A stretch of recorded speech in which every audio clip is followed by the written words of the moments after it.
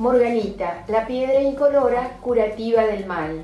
Dejando un poco de lado el tamaño o dimensiones que ésta puede llegar a tomar, estos cristales deben pasar por el proceso debido para ser presentados al mercado. Se pueden considerar relativamente raros porque no son fáciles de conseguir.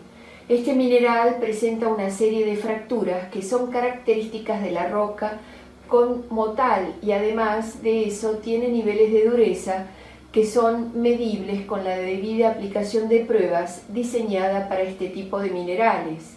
Su nombre va dedicado a su color más común, que es la representación del verde. Una cierta cantidad de variedad ha podido ser privilegiada y considerada gemas desde tiempos históricos. Desde lo más remoto de la historia, estas gemas han rondado las tierras y su pureza describe, se describen en su clasificación. Son muy reconocidas por la belleza que dan y son nombradas en muchos elementos que han sido parte fundamental de la humanidad, como la Biblia.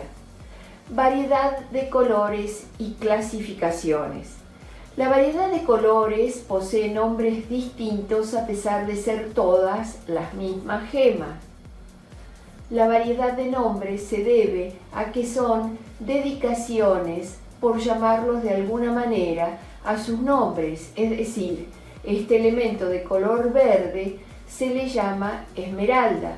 El rojo se le puede conocer como Vita o esmeralda roja. El profundo color azul de este tipo de gemas se le puede llamar aguamarina el rosa morganita y así hasta terminar la gama de colores descritos anteriormente.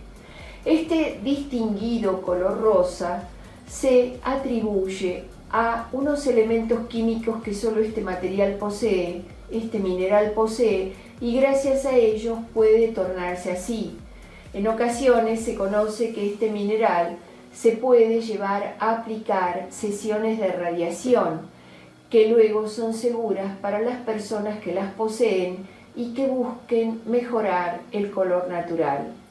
¿Dónde se puede encontrar la morganita?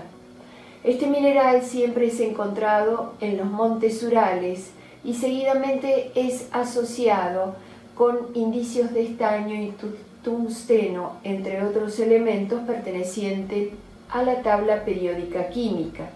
Países como Alemania, Irlanda o, Austria son los beneficiados naturalmente de poseer esta maravillosa joya natural y también se puede encontrar en la isla de Madagascar gracias a la gran diversidad de especies y demás elementos biológicos que posee en su interior.